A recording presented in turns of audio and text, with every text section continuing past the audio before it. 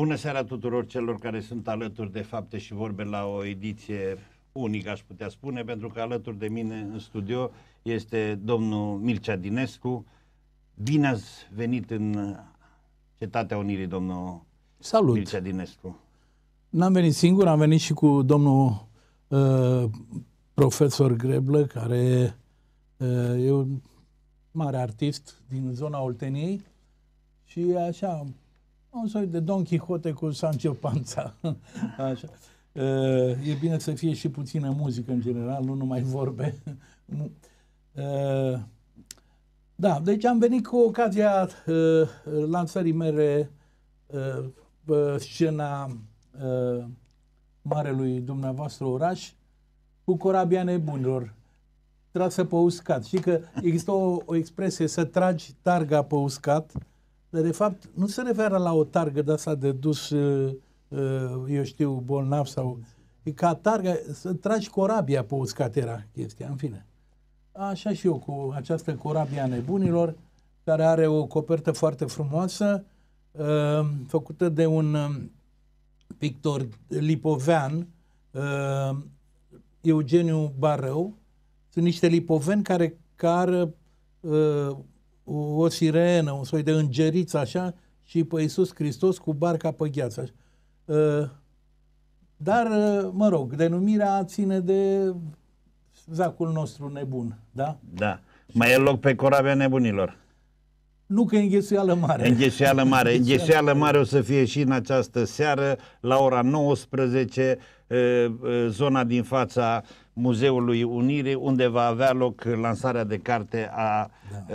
domnului Dinescu. Domnul Dinescu, dumneavoastră a spus lângă vorbe, ați adus muzică. Da. Pentru că faptele cam lipsesc în țara asta, nu? Sau de ce ați adus muzica? Am adus muzica pentru că, în general, să știți, în Evul Mediu, poeții erau Meister Zanger, Mini Zanger, își cântau versurile. Uh, nu existau televiziuni, din păcate, pe vremea care a fost frumos să aveți un, uh, un fragment uh, din viața poeților de acum 400-500 de ani și era o formă de a atrage publicul, de fapt. Publicul, datorită muzicii, venea să asculte și poezie, nu? François Vion și el se pare că își cânta versurile. Și atunci m-am împrietenit cu domn profesor, l-am avut la mai multe emisiuni de ale mele. Eu am scos și un disc la un moment dat unde mi-am cântat poeziile și atunci a ieșit această combinație între poezie și muzică. De când e lumea și pământul a existat această... Da, și psalmii sunt până la urmă Cum? versuri psalmii. În Biblie sunt versuri exact, cântate. sunt versuri cântate. Uh, Uh, și de fapt așa s-a culturalizat lumea, de fapt, prin această, prin muzica bisericească până la urmă. Bine, a apărut după aia și, nu se știe dacă înainte, dar cred că după a apărut muzica asta populară și uh, textierii anonimi. Bun. Deci dumneavoastră credeți în continuare în metodele ancestrale de culturalizare a maselor? Da, din, uh, din păcate, drama societății noastre este că copiii nu mai citesc cum se citea în copilăria mea, din mai multe motive se citea. Unul, că nu existau alte metode, nu, nu exista computere, nu, uh, la televiziune a apărut târziu, în anii 60, la mine, la Slobozia, așa, uh, nu puteai să călătorești și atunci o carte era un prilej de a cunoaște lumea care, la care nu ai acces, da? Uh, și evident că era și o formă de a-ți mobila mintea. Pentru că uh, se vede la generațiile astea care au crescut cu, cu cărți, uh, dacă vă amintiți sau nu vă amintiți dumneavoastră, sunteți mai tânări ca mine. Nu cu mult. Pe vremea când uh, uh, în anii 70, să zicem 60, dacă te însurai, uh, îți trebuia mobilă. Și mobila, știți în ce consta pe vremea aia? Întotdeauna la toate magazinele mobile era o masă cu două, cu patru scaune, un pat și biblioteca. Biblioteca, obligatorie. biblioteca a dispărut din mobilierul uh, contemporan. Uh, asta e realitatea, da? Uh, și atunci și oamenii mai amărâți, cum eu sunt născut dintr-o familie de uh, tecmerală cătuși mecanici, de oameni modești, așa. Uh, vrând nevrând, biblioteca aia a căpătat uh, ființă pentru că Au mai făcut ceva bun comuniștii până anii 60, le, uh, celor care lucrau în industrie, cum era taică meu, li, li s-a dat un bon de 100 de lei în 1960 și am fost cu maică mea, eu aveam 10 ani atunci, la o librărie.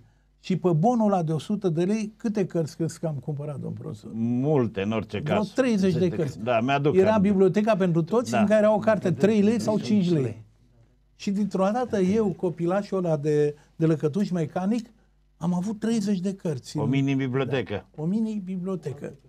E, vreau să văd acum, bine, prețurile cărților a crescut între timp, alte, ce lăcătuș mecanic își poate duce fiul să cumpere 30 de cărți într-o zi, știi?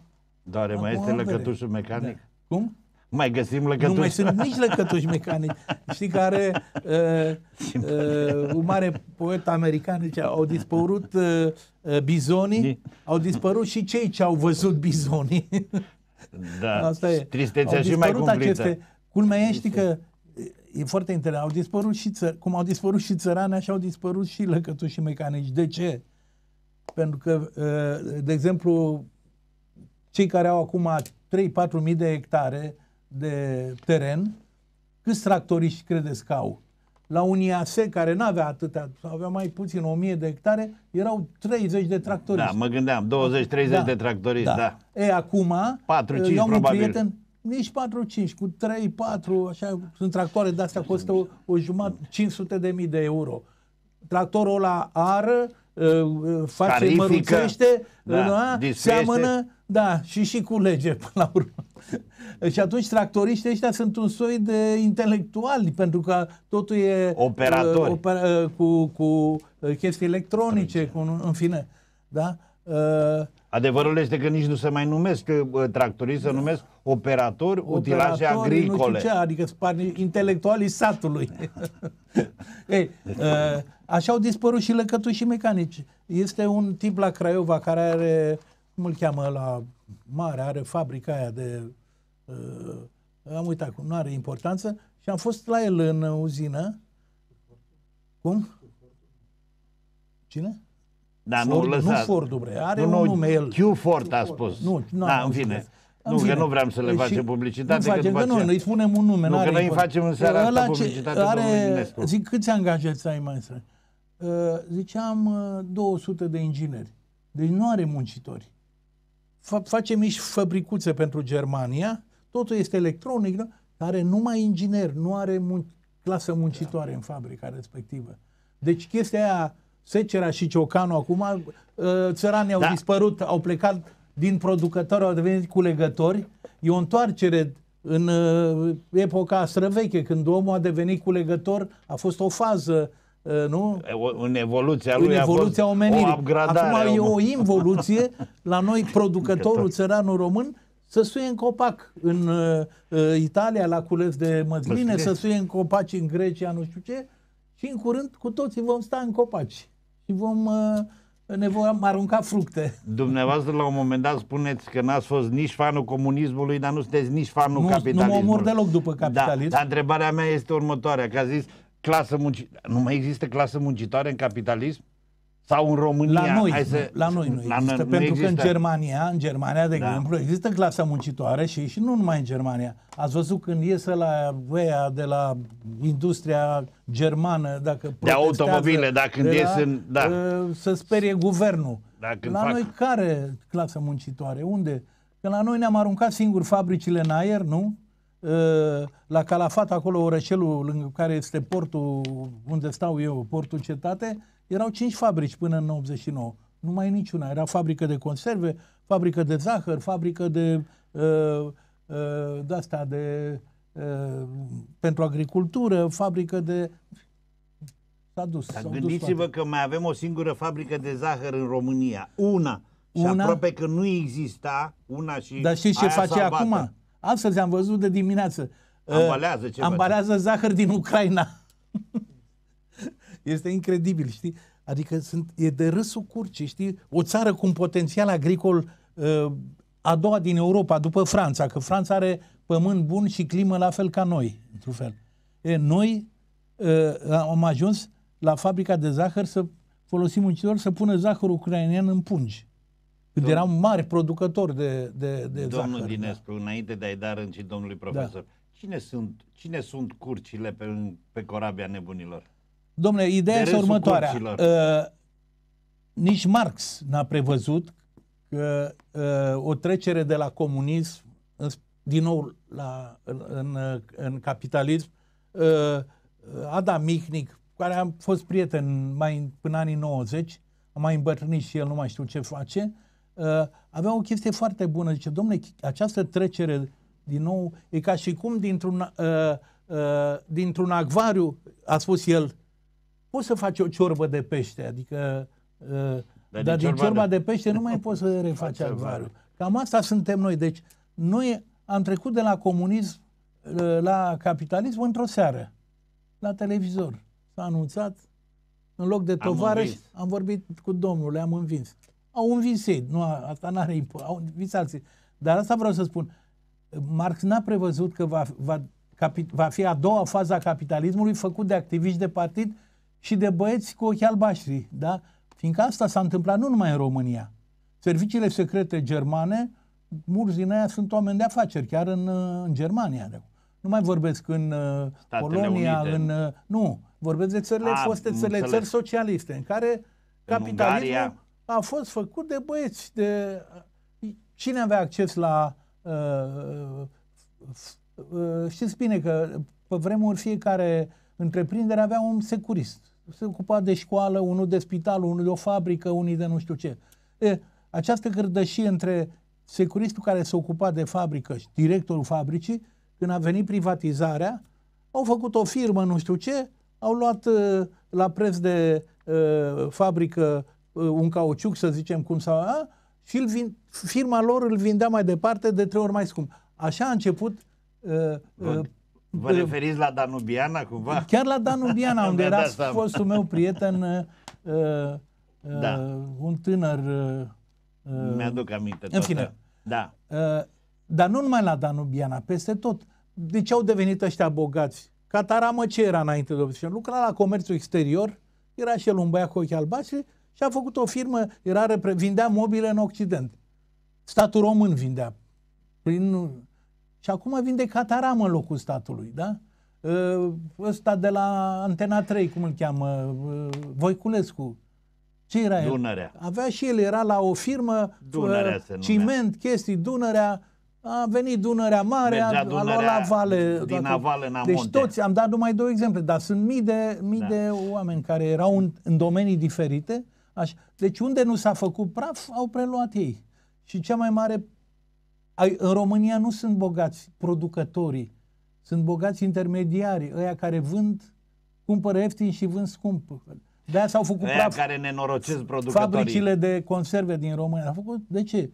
Acum importăm conserve, da? Importăm mâncare. O țară care ar putea să dea de mâncare la toată Europa, importă mâncare. Este râsul curcii, știi? E ca și cum aia în Egipt ar importa nisip. Da? Domnul profesor, ne cântați ceva pentru curcile de pe corabie? Da, domn profesor, da, deci nu cântăm, eram, cântă ceva uh, trist. Dacă... Ceva trist. Ceva trist. Deci nu cântăm Iată acum de... poeziile mele. Nu, Cine nu, vrea să vină da, la, la târg, dacă apucă să, să dea emisiunea înainte. E prea frumoasă, da. prea frumoasă ziua asta de mai da. ca să cântați ceva trist. De ce? Tristețea nu e. Tristețea e o calitate, nu stați puțin. Da, că ca și eu când aud, domnilor, da, eu când aud pe aia tâmpiția care la televizor spun a, astăzi e vremea urâtă, plouă. Cum să fie făi fătucă e urâtă? Plouă, e frumos. Păi mai frumos decât ploaia, ce poate fi? Nu ți-ai sărutat niciodată iubita când ploua? Pa, ce... Te băgai sub un copac, era un prilej foarte bun de sărutat. Plouă, lasă că există și ploaia tristă, dar e tristețea în tine. Tristețea nu e afară. în care apa da. e o problemă și o, o da. binecuvântare, ploaie Asta este... un genunchi. În, în Spania n-a plouat de vreo 2 ani de zile și acolo da. se deșertificare. În fine. Da. Bun, cântă ce vrei, domn profesor. Ceva ca să mai uh, captăm bunăvoința telespectatorilor. Da.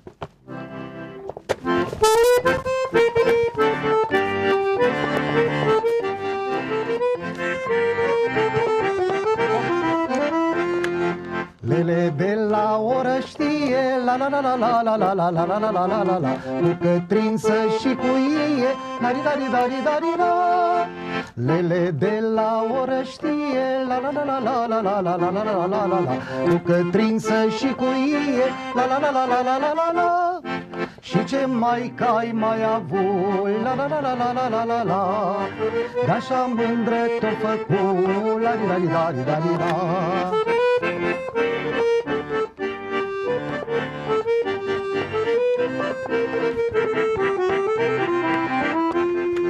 Că am avut pe maică mea La la la la la la la la la la la la la la la Care m-a știut legăna La di da di da di da di da Că am avut pe maică mea La la la la la la la la la la la la la la la Care m-a știut legăna La di da di da di da di da și m-a știut legăna La di da di da di da di da Păi de-me gura cam era La di da di da di da di da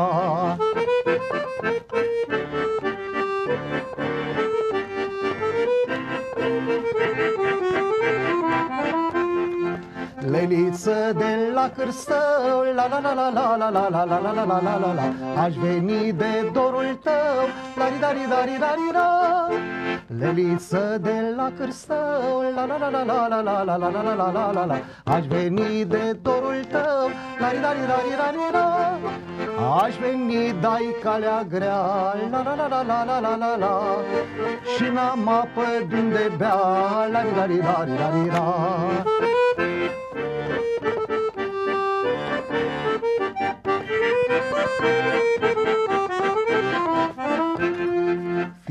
drumul cât de greu La la la la la la la la la la la la la la la Eu la mândra vin mereu La ri da ri da ri da ri da Fie drumul cât de greu La la la la la la la la la la la la la la la Eu la mândra vin mereu La ri da ri da ri da ri da Că mi dragă numai mie La la la la la la la la la Păi lelea de la oră știe La ri da ri da ri da ri da Păi că mi dragă numai mie La la la la la la la la la Păi lelea de la oră știe La ri da ri da ri da ri da Domnul profesor. A fost politicos, el cântă Inegalabil, cântece ol, oltenești. Da, dar nu, nu, da.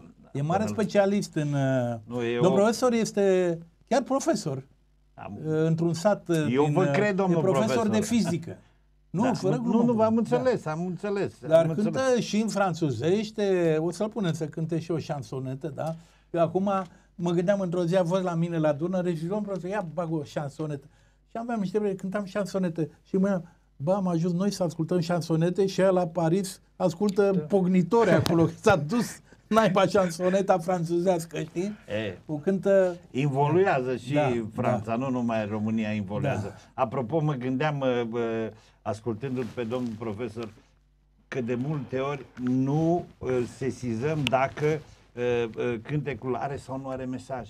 Dacă textul are sau nu are mesaj. Când ascult Cântecele vechi, Vechi, toate au mesaje. au. Deci eu sunt fascinat de folclorul românesc ăsta vechi. De ce? Pentru că este o concentrație de inteligență artistică, de texte absolut geniale. Are leșe, cântece vechi, sunt absolut formidabile. Acei autori anonimi au fost niște mari poeți uh, fără carte, dar care, cărora Dumnezeu le-a dat harul și au făcut niște texte extraordinare. Erau și compozitori și, și scritori. Nu, nu făceau școală, aveau... Eu știi cum Harul. se întâmplă? Eu de multe ori am rămas uimit că am întâlnit proști cu facultăți, cu doctorate, bine, plin Parlamentul României de târle de-astea care n-au, de fapt, n-au citit o carte, știi? Nici pe alea pe care le-au scris ei nu le-au citit. În schimb, găsești într-un sat un om, un bătrân care are trei clase și cu mintea brici.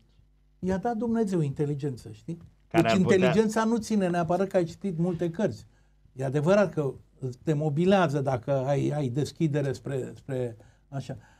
E, așa și cu asta. Cine au fost acei oameni e, cu har Anonim, domnul. anonim, da, Anonim, da, anonim care au făcut, pentru de că o nu mai poți să măreție- spui că a, uh, au apărut în uh, România capitaliste uh, texte din popor uh, pline de substanță și No, s-au- pur și s-au simplu, terminat. categoric.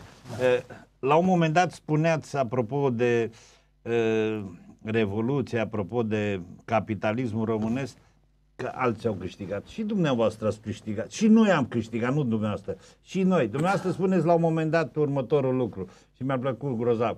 Meseria mea este libertatea.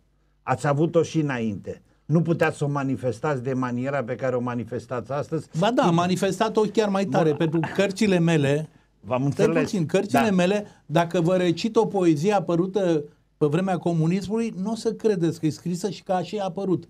Deci eu pe vremea comunismului am fost, într-un fel, un scriitor mai important decât chiar sunt azi. Astăzi am, sunt cunoscut că la televizor, că mai cânt cu domn profesor, că în fine. Dar de fapt eu atunci uh, am scos uh, până în 89 vreo 7-8 cărți de versuri. Ei bine, uh, am luat trei premii ale unui scriitor și premiul Academiei. E adevărat că am luat premiul Academiei în anul în care nu s-au mai dat bani, că premiile de obicei constau și într-o sumă, erau 10.000 de lei premiul Academiei, de exemplu, și când am luat pe cartea mea a treia, proprietarul de poduri, uh, la, uh, m-am dus să iau premiul, să știa că sunt 10.000 de lei, așa, mi-am invitat la Capșa vreo șapte o prieteni. Și când am ajuns să ni se mâneze premiile, președintele de atunci la Academie a zis, stimați, mă, știți, datorită situației, nu știu ce, anul acesta nu se mai dau uh, uh, plic, nu se mai da acel plic. Uh. Păi și am spus, domnule, i-am spus, stimat domn profesor, păi nu mai spuneți premie, spuneți diploma Academiei. Tablou Academiei. Și d- spaima mea era că trebuia să plătesc o masă la Capșa și nu aveam niciun ban. Și a trebuit să mă duc la Uniunea Scriitorilor să cer de la fondul literar niște bani împrumut să-mi plătesc. Uh, deci m-a costat premiul Academiei uh, uh, O masă la O Capșa. masă la Capșa. Bun, nu luai bani mulți pe carte. Bani câștigau însă, erau oameni care erau milionari pe vremea, scriitori chiar. Titus Popovici care scria uh, scenarii, nu știu ce, cei care uh, m- mai erau ăștia care mâncau cu polonicul rahat și care alea să plăteau. Deci uh, literatura asta uh, Comandată. de propag- comandă Comandă. să plătea. În rest, pe o carte luai 10.000 de lei, să zicem, pe o carte de versuri. Scoteam la 3 ani o carte, dacă împarți la... 30.000 de însemnau, ron, uh, t- un uh, 2500 trei, pe lună. patru salarii. Da, da. Da, Ah, nu era ce Dar știu. eh, eh, totuși eu mă refer nu la Vă libertatea referiți la- spirituală, că asta este Da. evident că nimeni nu ți-o poate Vă tulbura. referiți la faptul că eu supraviețuiesc în această lume în capitalism? Nu, nu. Mă Da. refer la faptul că dumneavoastră puteți avea această libertate să-l luați pe domnul profesor, Da. să mergeți într-un spațiu public și să faceți o, să, să creați un moment. Da. Lucru care înainte vreme nu, Nu l-aveam. se putea. Păi, dar știți, că eu, deși, cum ar veni, eram glorios în lumea literară și am luat premiul Academiei la, cât aveam atunci, 24 de ani, am luat premiul Academiei Române, am luat pre, de, premiul de debut al unui scriitor. Eu n-am apărut pe vremea comunismului decât o dată la televizor când eram elev în liceu în clasa 11 Deci eu, când am devenit un nume așa, așa, în subteranele literaturii, n-am mai putut să apar la televizor pentru că nu scriam cu partidul, nici cu Nenicu. Asta e toată povestea. E, e, Îți asumai chestia asta, că nu te îmbogățești pe scris în, uh, în acea lume, știi? Și astăzi? Uh, Astăzi, uh, Că se pare bogăția, uh, eu am câștigat bani în capitalism, de ce? Pe, uh, tot pe talentul meu, când uh, am fost președintele Academiei Cațavenci, Cațavencu și uh, conduceam acea revistă care avea un tiraj de 170.000 de exemplare în anii în 92, de exemplu, pe urmă am scos o revistă care se chema Plai, Plai cu boi, că mulți stâmpiți de unde are ăsta băiat, de-a dat Iliescu. Iliescu nu dă, Iliescu a luat, n-a dat. Așa. Păi asta e o meserie, lumea și închipui Îl că purtați munca, după nu că mulți dumneavoastră. închipui că trebuie să faci ceva. Păi, păi, pe, pe talent se poate câștiga dacă vrei. Nu acum însă vreau să spun că presa s-a dus, a murit presa românească. E, un, e o poveste întreagă de ce a murit uh, și datorită societății de consum și a culturii de consum pe 17.000 de posturi de televizor, că atunci de ce citea lumea uh, în comunism? Și erau cozi și la brânză, și la Și la carne, carte, și dar la și la cartea. librării. Da. Erau cozi. Era Întreba o goană lumea, după o carte așa bună. cum întreba lumea uh, la o coadă ce să dă? Da. Să dă brânză. Fac, te așezai la coadă la brânză. Ce să dă? Să dă carne. La librărie întreba ce să dă? Să dă Marin Preda. Da. Oh, și era coadă. Și eu am scos uh, Marin Preda, care era directorul editurii Cartea Românească, eu numai acolo mi-am scos cărțile, uh, mi-a scos la un moment dat o carte în, uh, uh, vreo 15.000 de tiraj, ceea ce însemna ceva și s-a vândut rapid, se vindeau cărțile uh, și pe sub masă. E, n- cum am spus atunci, nu a, era încă o dată o formă de, de, de a uh, uh, în afară de faptul că în, în anumite cărți găseai tot soiul de uh, șopârle, aluzii la sistemul ăla și vă spuneam că dacă vă recit acum câteva poezii, pentru că eu i-am obișnuit pe uh, uh, cenzori, erau cenzori pe atunci. Se chema cenzură la Ministerul Culturii, se chema uh, Ministerul Culturii și Educației Socialiste, mi se pare. Și Erau funcționarii erau care scriu. funcționarii care Cum ziceți uh, dumneavoastră. citeau, uh, manus, dădeai manuscrisul la o editură și se ducea la acei tovarăși. Deci erau fie activiști de partid dați la munca mai de jos, așa, fie unii care cochetau cu scrisul așa. Unii erau oameni cum se cade, alții erau mai tâmpiți sau mai răi așa. Ca peste Dar vreau să tot. spun că aveai, aveai e, negociai, că mai lasă jupânul, mai dai tu, mai nu știu ce. Erau cuvinte tabu, uh, uh, moarte, frică, uh, căcat, uh, uh, dictatură, nu știu, nu, alea nu erau voie să le bagi, da? În rest mai puteai să strecori și dacă îi obișnuiau cum i-am obișnuit eu cu stilul meu ăsta, știi, de băiat al clasei muncitoare care a devenit scriitor, așa am publicat deci, uh, și vă zic o poezie care se cheamă Vila Artistului.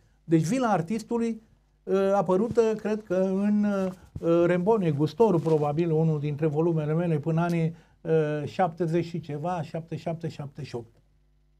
Sună așa. Dosarul meu crește ca pâinea bună. Se umflă, pârie, dospește lin. Iubito, vom petrece împreună sub streșinile lui de vinilin. ia și părinții ca să nu fim singuri. Ia și umbrela pentru orice risc. E toamnă în vorbe și ne plouă în linguri și cad din pomi agenții de la fisc. Astreg nepăsător printre vitine, uh, nici nu mă uit, nici nu miros, nici nu înjur, carne de tun, o sânză de albine și un îngeraș de vodcă în azur. Asta e o poezie scrisă de Dinescu pe vremea comunismului. Ia câtă, da? Da.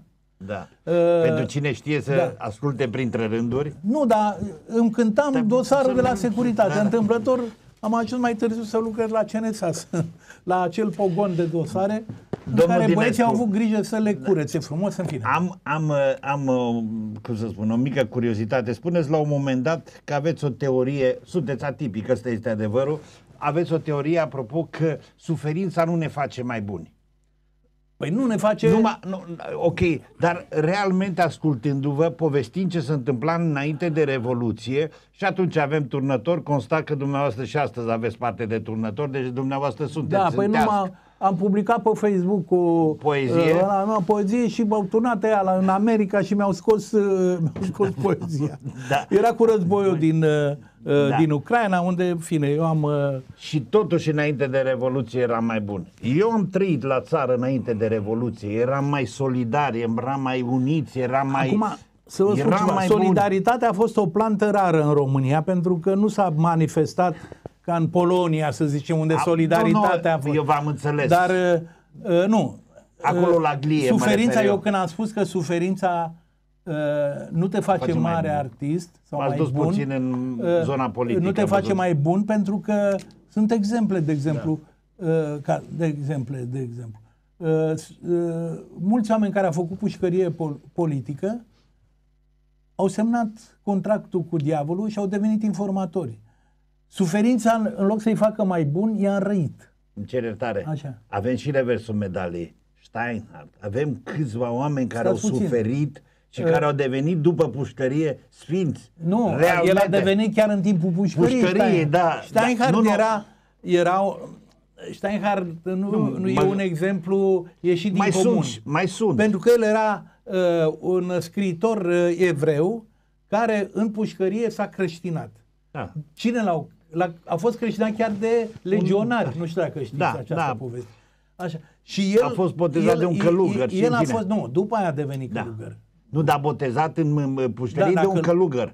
Nu, de niște de domni Ortodoxi. care au fost uh, Aha, legionari. da, Hai să, am. ăsta e realitatea. Da. Așa. Dar care erau credincioși, erau, făceau, că nu toți, sigur, noi a- aruncăm asupra uh, uh, Legionari. legionarismului chestia datorită crimelor sinistre, pentru că un partid care își omoară uh, mari oameni politici, nu mai vorbesc de cel mai mare orator a, de la ceră și mare scriitor, Iorga. vorbesc de Nicolae Iorga, Da. gata, nu, nu mă interesează așa.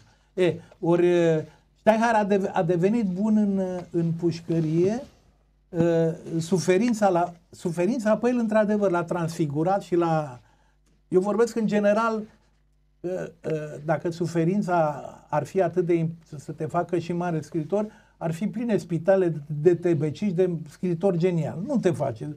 Suferința de multe ori te înrăiește. Dacă aveți în familie, ați văzut, bolnavi, rude, bolnavi, așa, ei nu, sunt, da. nu se îmblânzesc. Frica de moarte, nu știu, uh, înce- începe un soi de egoism, o disperare de a mai trăi.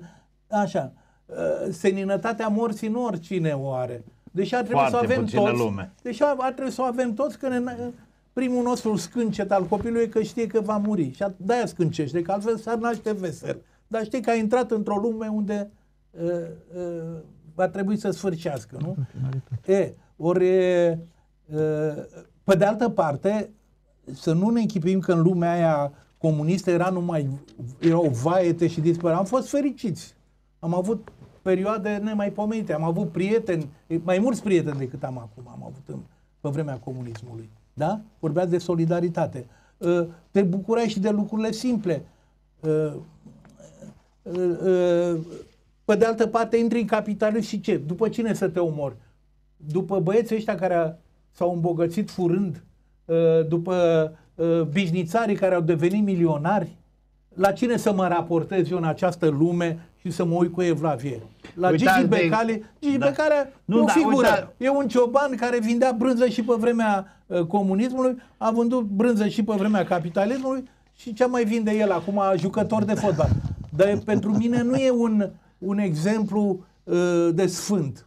Uh, nu găsesc sfinți nici măcar în Patriarhia Română, iertați-mă.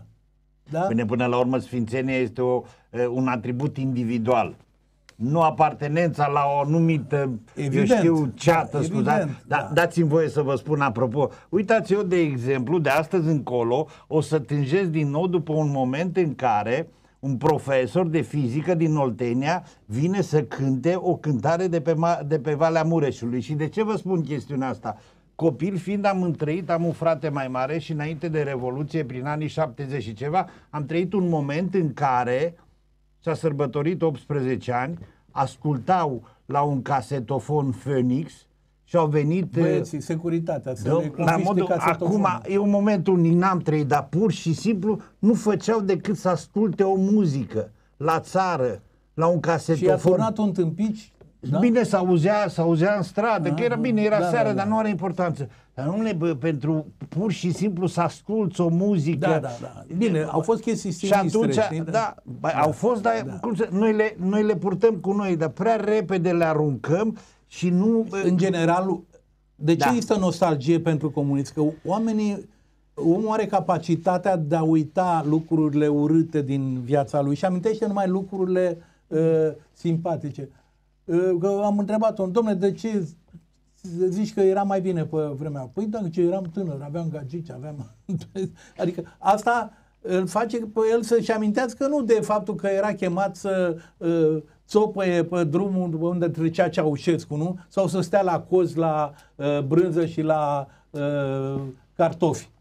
El își amintea că a dus o viață frumoasă, cu fete, cu băieți, nu știu ce bun, și ascultau Phoenix. Uh, uh, uh, Eu am, m-am uitat odată la Discovery uh, ce se întâmplă cu animalele uh, nevinovate care sunt mâncate de răpitori, de leu care mănâncă o căprioară.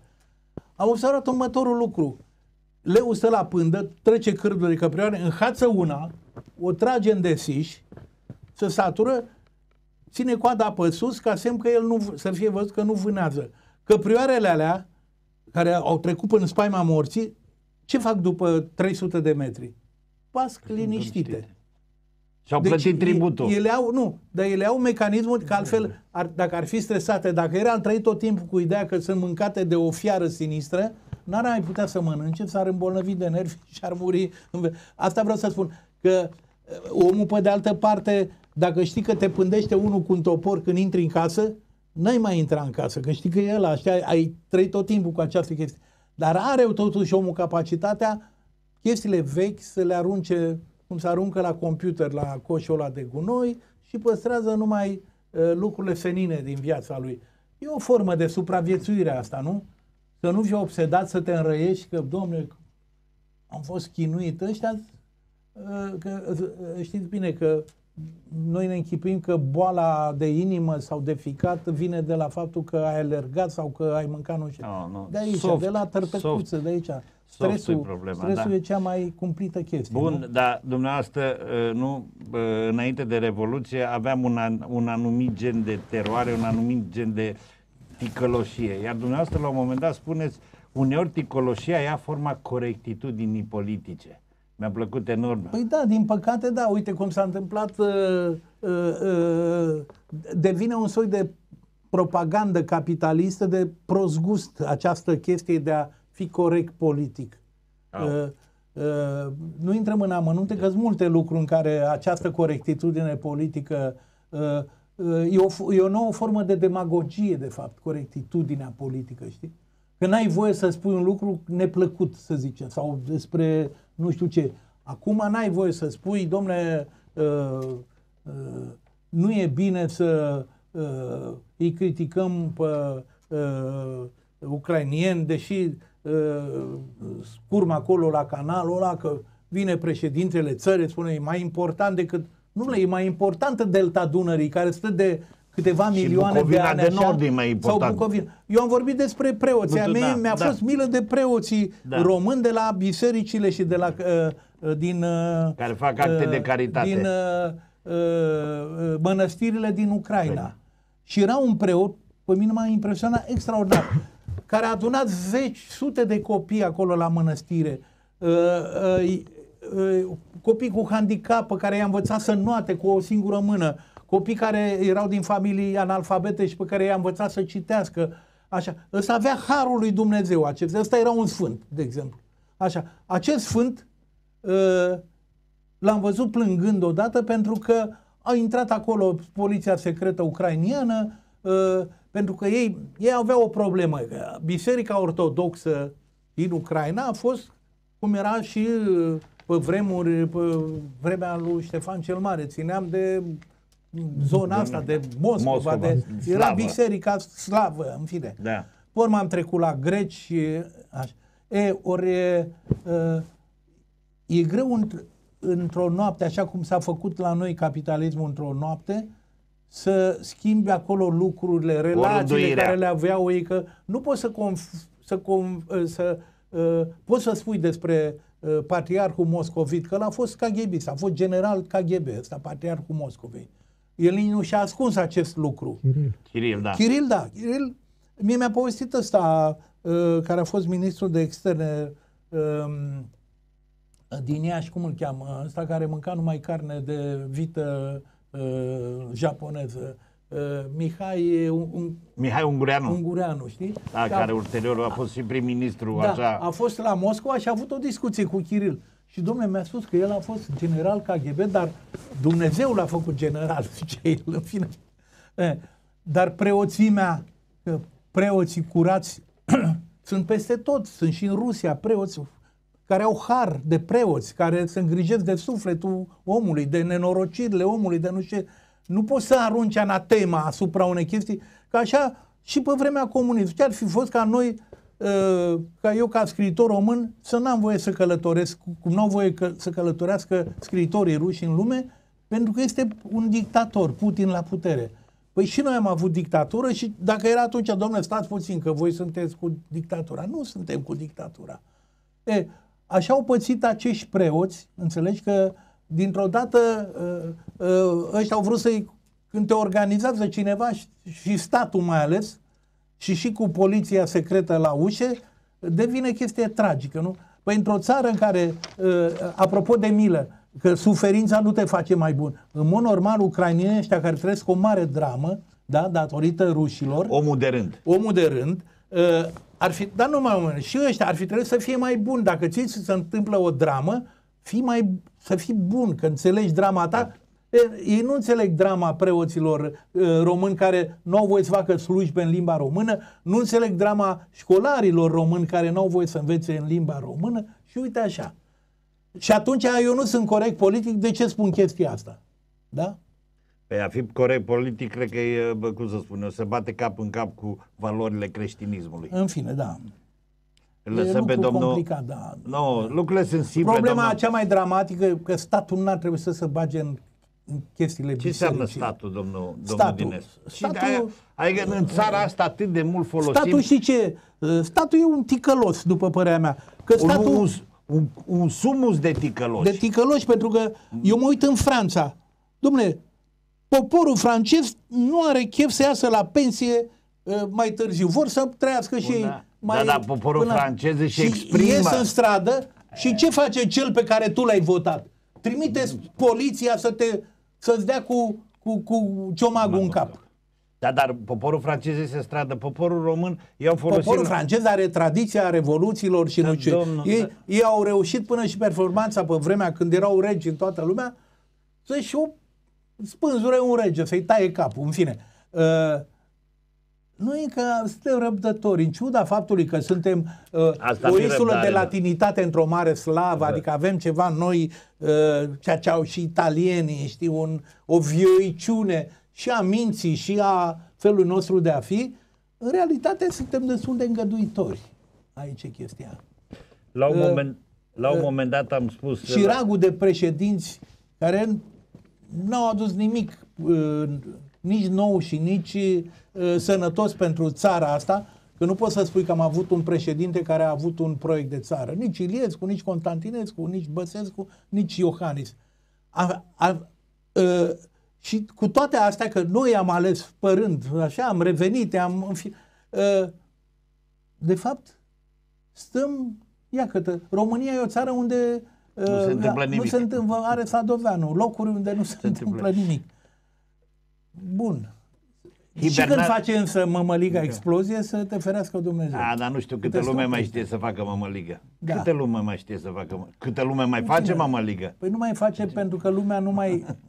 De-aia și copiii ăștia o iau urata, că noi care am crescut acasă cu bunica, cu nu știu ce, care făceam fiecare zi mâncare și mămăligă, printre altele, și Mămăligă mămăliga, la- nu e o chestie care se face acum, "A, mesă de trei ori." Instant, mămăligă Păi, până instant. făcea străbunica mea mămăliga, punea uh, tuciul la mare pe foc, punea apa și punea mălaiul, uh, mult mălai acolo Și lăsa uh, așa și să lăsa să bolborosească. bolborosească. Era ca un vulcan. Eu eram fascinat când făceam mămăligă, așa, uh, și după o jumătate de oră când apa aia se strecura puțin așa, punea Dar făcălețul scurgea așa. puțin din surplusul Și- de și- apă. Uh, Păi se evapora așa nu, nu, și dar intra- rămânea, mă, de- nu știu dacă, când era puțin mai Terciu, mult... te referi terciu. că luai terciu Da. și îl mâncai cu lapte. Lapte, așa. e. Nu. Sau aveam niște vecini care făceau o- aia o mămăligă bună și eu înțeleg, de ce e așa bună și dulce? și ce îmi spunea? Zice, noi avem niște albine pe horn și curge mierea Miere. în mămăligă.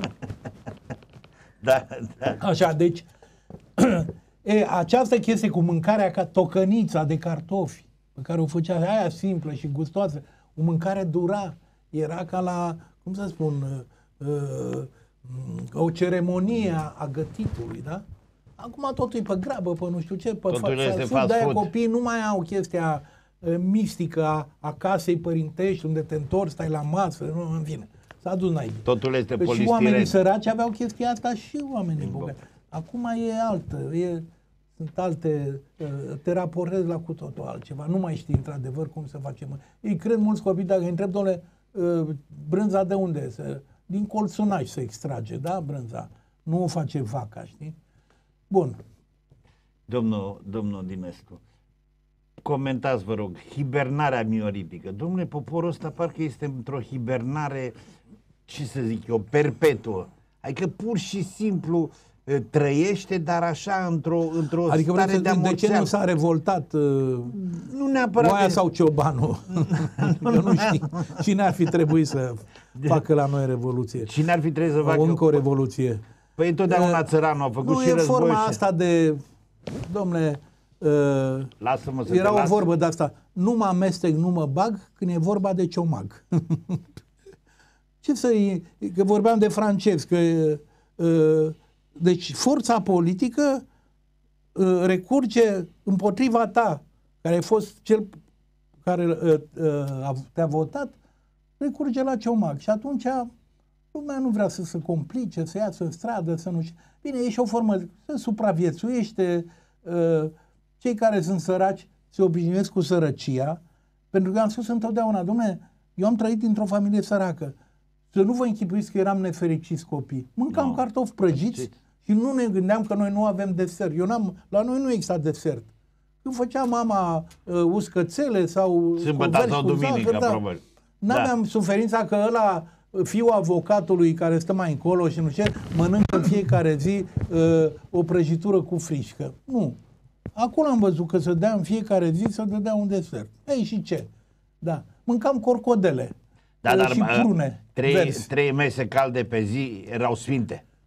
Trei mese, nu neapărat. Da, uh, trei erau. nu, erau, a, dimine, nu, nu, se suda. dimineața la Când mea mâncam și- un fel, când făcea tocăniță, Bun. asta se mânca Nu, la asta mă tocăniță. ref- da, Dar seara categoric. mâncai, veneai la masă, da. Da, era timpul mesei. Acum toată Asta era, lumea... trăiam ca în tribu. Era tribu, așa. Între timp nu mai știm în ce triburi, din ce triburi facem parte.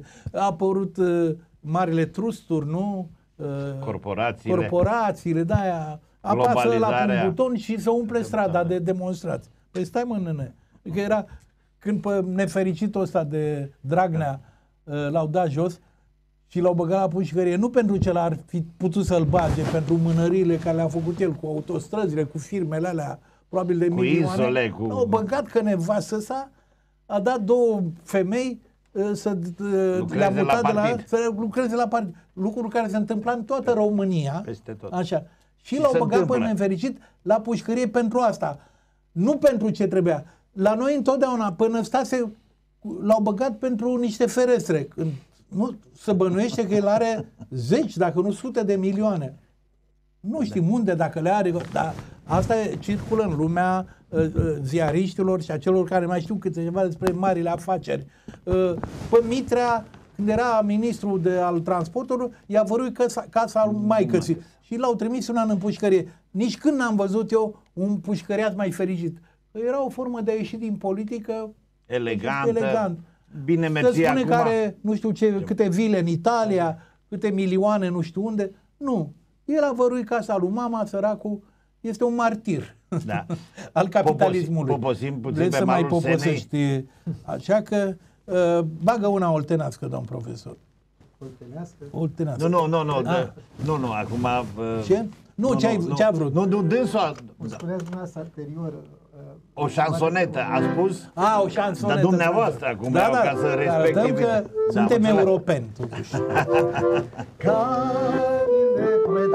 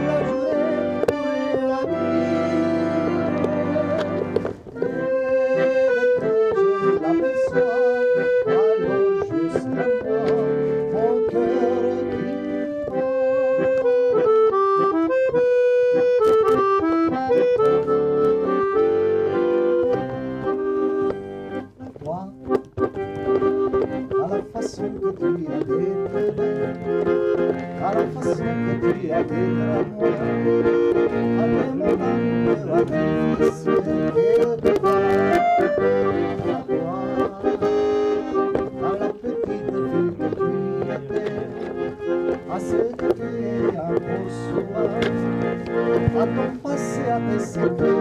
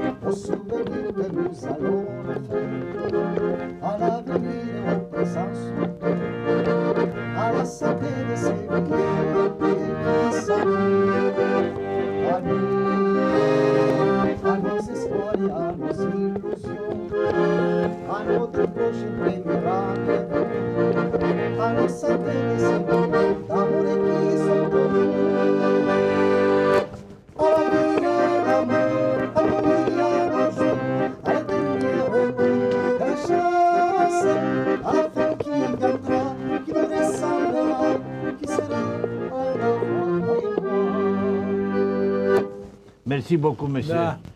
Vous Deci îl êtes chem pe très- malul Dunării și spun, domn profesor, ăia nu mai cântă pe malul uh, Senei, Senei. că și trag cu pognitorile. Hai să cântăm noi franțuzește Aia, pe aia malul când Dunării. arăbește pe marul Da. Lesene, domnul. Vedeți că aceste, noi am trăit și cu mitul acestei societăți de consum, cum era cu muzică frumoasă, cu uh, ce ne-am închipuit noi despre capitalism. Habar n-aveam. Domnul- Am, am intrat în capitalism ca niște analfabeti. Domnul că noi Dumnezeu. vedeam numai chestiile frumoase din această da. lume. Da. Uh, Uh, uh, nu știam de manipularea marilor trusturi, uh, de această combinație între politicieni și oamenii bogați. de nu? acest neomarxism. Uh, Bine, asta cu neo, aici o confuzie mare cu neomarxismul ăsta, că se aruncă asupra tinerilor că neo, nu sunt neomarxist. Nu, nu, eu nu mă refer la... Eu mă în, refer... în mod normal, psd trebuia să fie neomarxiști, pentru că e un partid de stânga. Dar ăștia sunt niște oameni de stânga care n-au citit Marx. Domnul, domnul, Niciunul ăia eu din- v-am înțeles. cred că Eu, nici- eu la altceva mă refer. La faptul că acum principiile, să știți că sunt implementate și funcționează în companiile multinaționale. Păi eu, Eu la când asta vă- vreau când să vă spun. povesteam că au ieșit în strada aia pentru bombonica, Bombonica. cum o cheamă, pe ne, sau o Da, chema pe da. fosta nevasta lui, au ieșit împotriva bombonicii.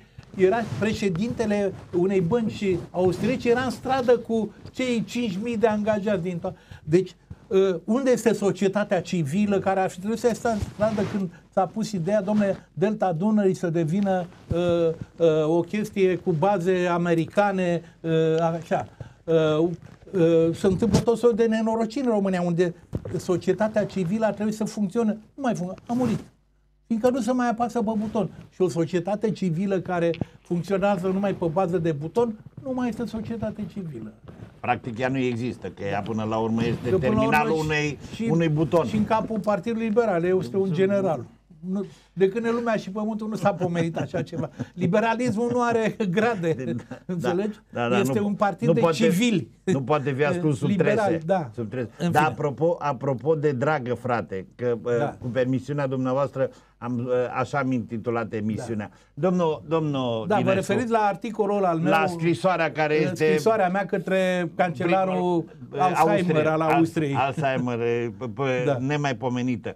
E, Două aspecte, poate regia ne pregătește scurt imaginile. Ziceați că avem împreună băncile, e, e, benzinăriile, subsolul împreună cu... Da. Avem împreună pădurile. Pădurile, păi Imagini, stai- Prietenul lui Iohannis ăla, Im- austriacul, numai care a... Imagini filmate Da. în această săptămână în eu am denumit zona respectivă Transnistria Pusenilor, domnule. Zona de vecinătate între Cluj și Alba. Cumplit, da. Cumplit. Uitați cum Îți au vine fost să plângi. Realmente. Să cazi în genunchi și să spui... Real. Uh, știi ce se- sentimentul meu e? Știți că a existat fenomenul Tungus. Da. Acum 100 și ceva de ani, un nu se știe Me- precis ce, uh, zici un meteorit, meteorit, cumplit da, care a, corect. a pârjolit în, uh, în, În uh, Siberia. în Siberia pe, pe sute de kilometri pădurile. Uite, asta e Aici era pe fenomenul două- Tungus. pe uh, două picioare, Fenomenul Iohannis în România e asta. Austriac. Austro-Iohannis. Eu spuneam așa, domnule, dacă pe vremea lui Franz Josef Imperiul Austriac era până la Brașov, așa, acum Imperiul Austriac e până la Marea Neagră. Deci au reușit să ia băncile României, deci puterea financiară, au reușit să ia Subsolul. subsolul, tot austriecii, și au reușit să uh, ia și Să ia și pădurile. plapuma să se facă- verde până la deci, urmă. Deci da. trei chestii. România, asta a fost devalizată. Este cu mâine numai pe, pe o chestie unde a existat o valiză. Că devalizarea asta e. Rămâi numai cu mânerul de la Rom- valiză. România e ca și președintele, că ziceați la un moment dat că domnul președinte n-are mâini și n-are picioare. Păi n-are mâini, n-are picioare, în schimb a reușit să facă singurul lucru bine făcut, l-a, fă, l-a făcut uh, uh, când uh, nemții n-aveau, nu, n-aveau culegător de sparanghel. Atunci a mers pentru prima dată în România uh, aeroporturile ca lumea, aranjată bine, plecau avioanele la timp, toți Nu mai aia era care veneau din pandemie, toată nu mai țara. era nimic. Era organizat Exact. perfect. Atunci a fost lucru bine făcut, dar avea legătură numai cu sparanghelul. Cum vi se pare dumneavoastră care trăiți E vorba aceea? cumplită chestia, da. E cumplită. Domnule, dar- Nu-ți vine să crezi. Dacă te E- uiți, nu-ți vine să crezi. Dar aici nu numai, iertați-mă, nu numai austriecii sunt de vină. Unu, preș- șeful țării, care uh, să, să știe că e în pri- relații de amiciție cu ăsta, oamenii din zonă, totuși, Da, acolo aici nu este. sunt primii secretari ăștia, președinți de județe, ăia care răspund de Nu, păduri nu, în nu, nu, România, nu. Ministerul Agriculturii, Ministerul Mediului, ăștia vin și îți controlează dacă ai un restaurant, dacă îți mergi... Bă, uite ce, apropo de Ministerul Mediului, uite ce e acolo, știi? E ca în sălbăticiunea când am început aia să, să distrugă m, pădurile de ecuatorului și nu știu ce știi. Banditismul ăsta de... de, de Dom- Domnul Dinescu, apropo de corabia nebunilor, aici... Uite, asta trebuie așa să începe, aș începe uh, orice televiziune, cu imaginile astea. Și aș spune să cânte și imnul, da. Deșteaptă-te român. Nu l-aș spune, domnul Da. Dinescu. Nu cred că aș spune altceva pentru asta. Domne. Dar ideea este următoarea. Aici vorbim despre durerea României. Asta pur și simplu este o rană făcută de noi în trupul țării și nimeni nu spune nimic. Asta este incredibil, domnule. Astea sunt de 8, 10, 12 ani. Păi și nu de-aia vreau spuneam, să... că nici sub, sau, Poate, poate ne sub dați toți o clipită președinții. și, bă, și biserica să, bă, cum să spun, să-și întregească domnul, domnul Dinescu. Domnule, este incredibil. Realmente, ca și cetățean, stai și... Da. Și dumneavoastră sunte, uitați, asta este biserica veche, monument istoric din Da. comuna Horea. Incredibil. În februarie, filmată de noi în februarie. Domnul... Da, păi da, iertați-mă, eu am mai făcut în zona aia oltenească. Știți că, uh, în general, în, mai ales în, pe, spre Câmpie, în Câmpia Bărăganului și în Regat, cum se spune, nu au existat cetăți. E, Cetățile au existat în Zardeal, Da, în uh, zonele uh, deluroase, nemțești montane, sau n-aveai unde. ungurești Da. sau românești, înțelegi? Da. În Moldova Domnul- au existat da. cetăți. În Bărganu erau, s-a trăit în Bordee sute de ani, că veneau turcii și s-a legea praful. În schimb, în Oltenia a existat o idee de cetate de familie. E- Erau culele oltenești. Ce Da. erau cule? O casă boierească construită ca o fortificație, foarte frumoasă. Uh, uh, Dacă intrau dușmani acea, ăștia se baricadau în casă acolo, aveau 3-4 de astea cu servitorii, cu puștile și nu puteau fi uh, în acea culă, așa, nu, nu Erau puteau fi protejați. cucerite, erau protejate și nu Da. se apropiau ea de Era o ele, scăpau. fortificație, de Deci fapt. erau cetățile noastre oltenești, e așa, vechi de sute de ani. Ei bine, pe vremea comunismului, aceste cule nu au fost dărâmate, cum au dărâmat în orașe crimele lui Biserici, Ceaușescu, da. țin de la biserici și nu știu. au fost făcute sedii de IASE, de Sigur, CAP, CAP-uri, da. uh, bolnav de bolnav de plămânușă. Dom'le, a venit capitalismul și s-a ales praful din 300 de cule care existau ca podopere de arhitectură și de istoria românismului, au mai rămas vreo 25 de cule în... După 89 s-au făcut praf. S-au furat de pe ele. Eu tot povestesc că acolo la Dunăre, când am nimerit eu întâmplător, am mers la Maglavit, unde străbunica mea îl știa pe Petrache Lupu, în fine, de, era foarte credincioasă, a trăit ardeleancă din comuna Soară și de lângă Bobâlna. Și i-am povestea de Petrache Lupu și de minunea de la Maglavit, ăla care a stat de vorbă cu Dumnezeu, în fine. În general, în lume a venit Iisus Hristos, sau mai arătat, sau Maica Domnului. La noi a venit chiar Dumnezeu în da, persoană. În Oltenia n-avea... Să nu ne mai complicăm cu chestii Să nu vă cadă din stele. Așa. A venit Dumnezeu, e adevărat că n-a mai revenit de atunci, dar uh, că, uh, și în Vechiul Testament Moise nu-l vede pe Dumnezeu, vede un stâlp de foc și aude o voce, dar nu l-a văzut în persoană. Petrache Lupu Ciobanu în altfel l-a văzut, a stat de vorbă cu moșul. Bun. Și am ajuns la Maglavit și de la Maglavit am văzut portul cetate și așa am ajuns să cumpăr acea ruină, că și pe aia o devalizaseră, furaseră lemnăria de pe aia nu știu ce. Eu era scoasă la vânzare la preț de cărămidă. După ce am ajuns acolo și am refăcut în patru ani casa aia și m-am mutat eu acolo, am făcut o fundație culturală, în fine, uh, am descoperit un, uh, un castelaș, nu zic chiar castel, calea de pe Loara, făcut de un boier care se îndrăgostise la Paris de o cucoană frumoasă, nu știu ce, și a adus în România, a făcut cadou acest uh, castelaș. N-au prea stat cu coana, a vrut totul să întoarcă la Paris, dar castelul a rămas. Pe vremea comunismului a fost sediu unui CAP. Când l-am văzut eu în 96-97, uh, eram în picioare. Și mi-au venit niște prieteni după jumătate de ani, zic, băi, hai să vă arăt un castel franțuzesc pe malul Dunăre. Dom'le, și când mă, mă duc să-l văd, deci, dom'le, avea un tur frumos și era acoperit cu tablă de aramă ro- roșie, ușor. Dom'le, dat turnul dărâmat, acoperit și urat, furată. Merg la, la primărie și bă, s-ați nebunit, avea și voi o o capodoperă, un da. castelaș și stat, poate trăiați toți de pe urma lui. Ce dracu ați avut? Domn Dinescu, ce au pentru tabla de... Au furat tabla de pe casă, Uh, și au tăbărât și au luat fiecare câte ceva. Și m-am trezit cu un tânăr. Zice, domnule Iescu, v-am căutat, uh, nu știam telefonul, nu știu. Știți, zice, uh, străbunicul meu a avut un castel aici. Zic, domnule, știu. Domnule, ce am reușit după ani de zile să mi se retrocedeze. În clipa în care l-am retrocedat, zice, au tăbărât pe el și l-au făcut praf. Acum nu se mai vede urma unde a fost, pur și simplu. Și am bă, ce popor e ăsta, măi? Care își distruge nu cocioabele din sat. Ei au distrus castelul bre, și a dispărut. Cum au dispărut aceste cule oltenești.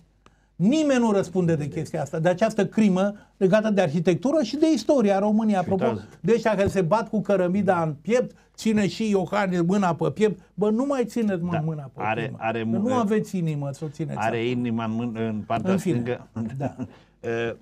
Diseară, la uh, momentul lansării. Da. O să avem parte și de Și acest... de domnul profesor, da. da. Eu o să, hai să recit eu și încheiem cu muzică. Citesc și eu câteva da, poezii. Dați-mi voie să vă spun următorul da. lucru. Prin muzica, prin repertoriul pe care îl are domnul profesor, domnule, diseară dumneavoastră, prin domnia sa, cinstiți Ziua Europei din 9, din 9 uh, uh, mai. Deci marți Ziua Europei da? și mai vreau să spun, să întreb, Bănuiesc nu ne gândim la Europa nu, când păi, ne nu, gândim la noi, eu la știu că ne gândim Dunăre la noi. și la Oltenia. Da, dar cum să spun eu, nu suntem europeni numai din momentul în care uh, au deschis poarta să intrăm. Noi eram europeni și înainte. Nu cântați în limba franceză? Păi da, ier, din, iertați-mă, uh, nu se mult. spunea despre București. Bine, s-au mai spus că e micul Paris, Paris, pentru că, într-adevăr, Bucureștiul era un oraș în Balcan, deși noi nu suntem chiar în Balcani, în care existau uh, uh, uh, chestii asemănătoare, se mânca la fel de bine ca la Paris, la Capșa. Promenadele. Exista, de exemplu, s-a menținut și pe vremea comunismului, puteai să mănânci șalău bonfam. E un șalou care se face la cuptor, cu puțin unt, cu parmezan, cu nu știu ce, cu ciuperi tăiate mărunte, așa. Eu am mâncat la Capșa, cu Marin Preda, cu Romul Munteanu, cu, fine, cu...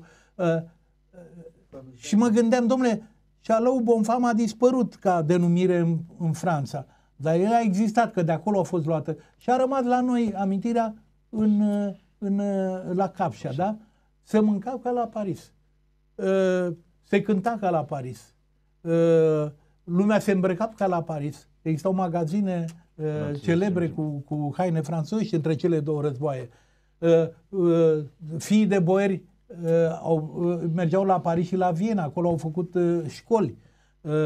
Eram europeni. Eram, aveam această chestie, nu podul ăla de flori pe care am încercat noi să-l facem, Iliescu și-a ieșit un rahat cu frații noștri din Basarabia, era un pod nu de flori, ci de adevăratele între noi și Europa. Nu aveam complexul Europei. În fine, uh, pe care acum încă îl mai avem, pentru că numai ideea că noi, de exemplu, eu pe malul Dunării, ca să merg la frații mei bulgari care au trăit și în comunism ca și noi vreme de 50 de ani, eu trebuie să n-am voie să, să trec cu o barcă până la bulgari, pentru că virgulă, coana Europa nu, nu mă lasă că nu suntem în Schengen. E o porcărie fără de margine. Păi, Vine aia noastră, domnul, domnul. Vine aia noastră. A, a păi noastră, tot umil. Cum negociem noi? Noi am negociat în genunchi intrarea noastră. Dar nici Europa. nu știu dacă am negociat. Noi am negociat în genunchi, în sensul că am stat ca slugile și ei au zis privatizați băncile, privatizați petrolul, privatizați pădurile, privatizați... S-a ales praful. Bun. Să ne Poezia amintim... și după aceea da. a spus că ne-ați promis o poezie. Vă, vă citesc o poezie care, uh, uh, care încep cartea, se cheamă Balada Spitalului de boli nervoase din Poiana Mare.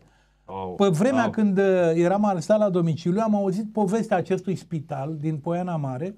Era un spital al MAI-ului, al securității, unde se tratau și uh, dizidenții anonimi din România, adică oameni care mărâiau împotriva sistemului, uh, nu-i băga la pușcărie, că Ceaușescu, în urma procesului cu Pătrășcanu, a rostit un discurs și a spus în România nu vor mai exista deținuți politici. Deci nu te mai băga în pușcărie dacă scriei ceva împotriva partidului. În schimb, te dădea afară din serviciu și te aresta că uh, ești de ăsta criciog al societății și dădea 5 luni acolo și în pușcărie aveau o grijă.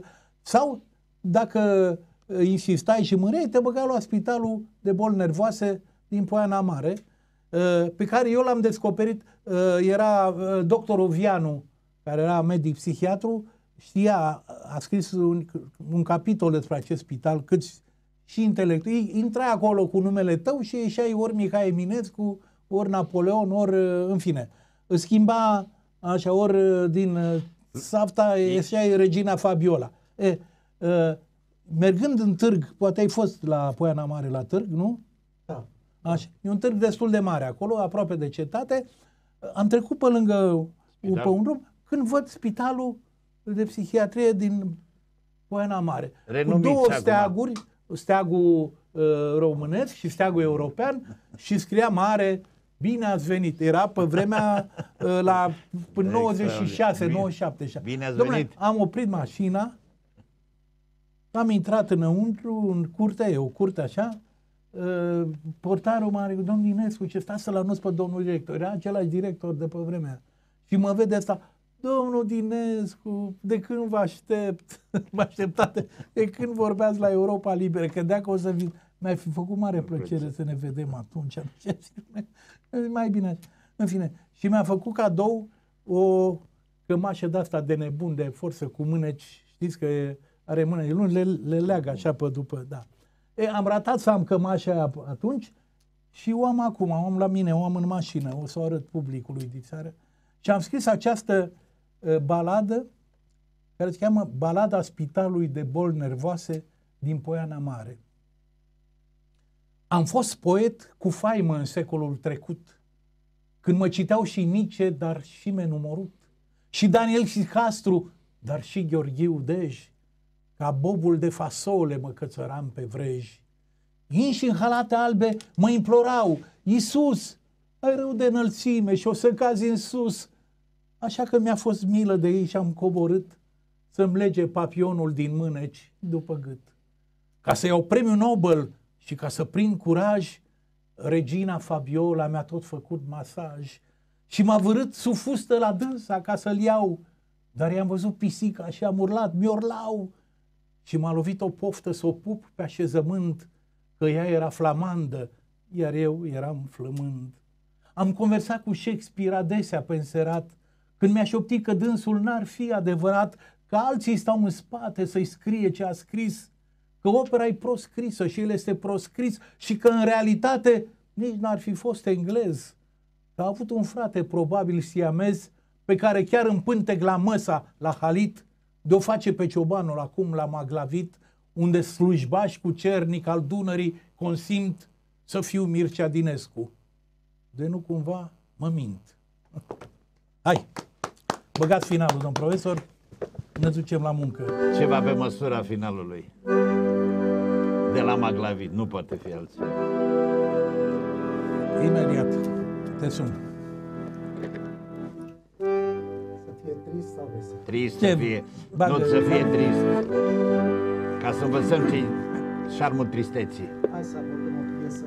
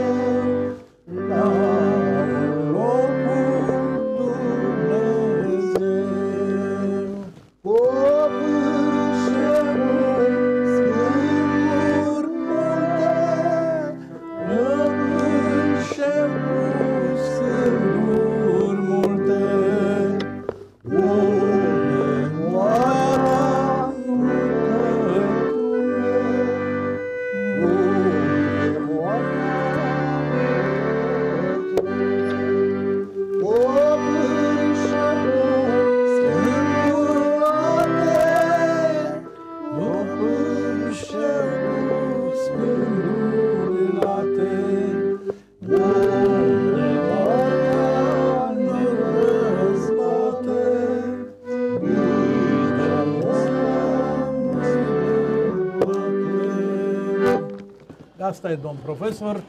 Domnul Dinescu, din, uh, să zic așa, din pelerinajul ăsta al corabii nebunilor care vremelnic ajunge în Alba Iulia, un gând pentru cei care v-au ascultat și să simt Caragiale, uh, după ce s-a exilat, s-a autoexilat de fapt, da? Uh, Scârbit de... I s-a făcut un proces oribil cu un plagiat și era o, un ticălos care a inventat toată povestea. Uh, Avea drag, rămăsese cu drag de România așa. Și uh, scrisorile pe care le trimitea el din Berlin, toate se încheiau cu această poveste, o urare. Fiți sănătoși și veseli. Deci ar trebui să ne păstrăm simțul umorului. Pentru că și pe vremea comunismului noi am supraviețuit într-un fel, dacă vă amintiți, apropo de popor, de ce creație, pe vremea comunismului nu s-au mai creat mari cântece, în schimb s-au creat bancuri geniale. Deci ne-am, ne-am tratat, dacă vrei, pastila țin- zilei. cu bancul. Banc. E, nu mai apar bancuri, din păcate, pentru că lumea are altă, alt gen de... În fine. E, Noi facem exerciții de supraviețuire. În aceste exerciții de supraviețuire trebuie să ne păstrăm simțul umorului. La mulți ani! Vă mulțumesc, mulțumesc și domnului profesor, vă doresc sănătate și ne bucurăm că ne-ați onorat cu prezența, iar dumneavoastră, stimate telespectatoare, stimați telespectatori, lecturând Corabia Nebunilor, puteți să uh, Să vă trăiți- tratați. E o formă de tratament. Da, e pastila, pastila, Pastila momentului. Care n-are, n-ai probleme de stomac. Da, nu are efecte secundare. Mulțumim mult de tot. O seară bună, la revedere tuturor. Bine,